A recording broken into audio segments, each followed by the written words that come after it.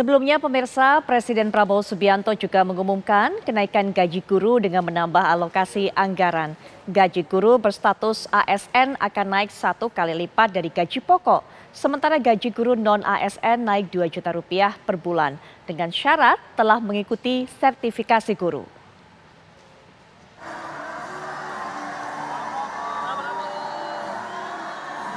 Presiden Prabowo Subianto menghadiri acara puncak peringatan Hari Guru Nasional 2024 di Velodrome Rawamangun, Jakarta.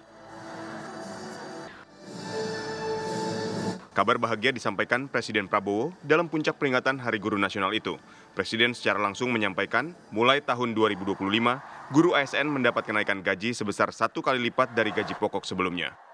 Kemudian guru non-ASN atau honorer yang sudah tersertifikasi mendapat kenaikan tunjangan profesi senilai 2 juta rupiah kita walaupun baru berkuasa satu bulan, kami sudah bisa mengumumkan bahwa kesejahteraan guru bisa kita tingkatkan.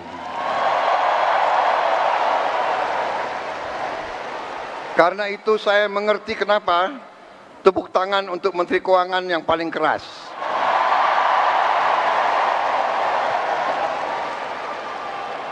Kita telah meningkatkan anggaran untuk meningkatkan kesejahteraan guru ASN yang berstatus PNS dan P3K serta guru-guru non-ASN. Guru ASN mendapatkan tambahan kesejahteraan sebesar satu kali gaji pokok.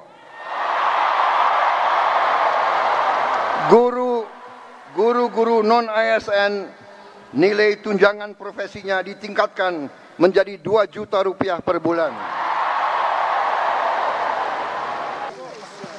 Saat menyampaikan pidatonya, Prabowo tiba-tiba terdiam dan menangis, serta menyampaikan permintaan maaf karena merasa belum sempurna memenuhi kebutuhan para guru di Indonesia.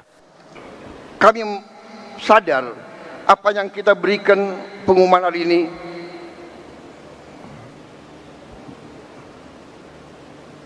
belum belum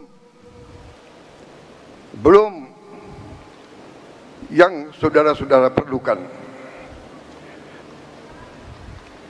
Tapi ini adalah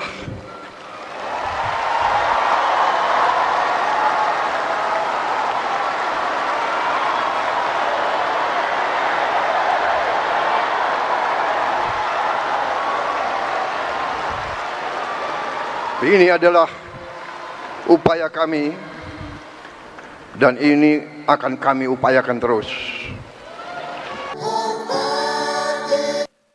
Mengakhiri acara, Presiden Prabowo mengajak jajaran anggota Kabinet Merah Putih bernyanyi untuk para guru yang hadir sebagai bentuk apresiasi.